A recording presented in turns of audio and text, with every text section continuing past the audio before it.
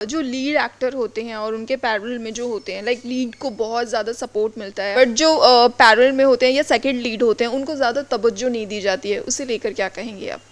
पहले मैं भी ऐसा सोचती थी कि ऐसा होता होगा, लेकिन जब मैं टीवी करती थी, तब वहाँ उल्टा ज़्यादा होता है। वहाँ पे लीड लीड लीड बोलते हैं ज़्यादा कि ये हीरोइन है हीरोइन है। टीवी में ऐसा फ़िल्म में ऐसा कुछ नहीं है। टीवी में किसी को, बस जो लीड कर रहा है, उनको मैम करके बुलाएँगे अदरवाइज़ सबको जो मैंने फेस किया। लेकिन फिल्म्स में अगर आप सेकंड लीड भी कर रहे हो थर्ड भी कर रहे हो कैरेक्टर भी कर रहे हो तो भी आपको मैम करके ही बुलाया जाता है वहाँ पे। ये चीज़ मुझे बहुत अच्छी लगी।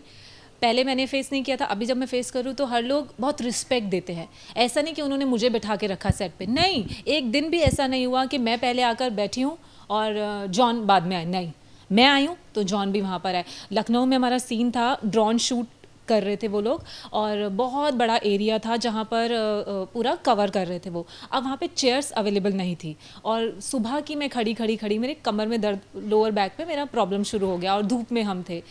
लेकिन मैंने देखा कि जॉन भी एज इट इज़ खड़े हैं वहाँ पे।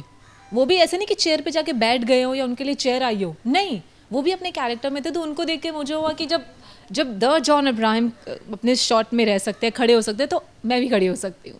सो so, ये कि अभी वहाँ चेयर्स भी नहीं आ सकती थी तो क्या करें? वहाँ एरिया प्रॉब्लम था शूटिंग लोकेशन ऐसी थी कि थोड़ा प्रॉब्लम हो रहा था तो आपको हर टाइप में ढलना पड़ जाता है। लेकिन ऐसा मैंने कभी फेस नहीं किया सेट पे कि मुझे ज़्यादा ऐसा टाइम से पहले बुला लिया हो या फिर मुझे वो वो रेपुटे मतलब क्या बोलूँ कि वो तवज्जो जो वो ना मिल रही हो, ऐसा नहीं हुआ था। इक्वली सबको उन्होंने ट्रीट किया था।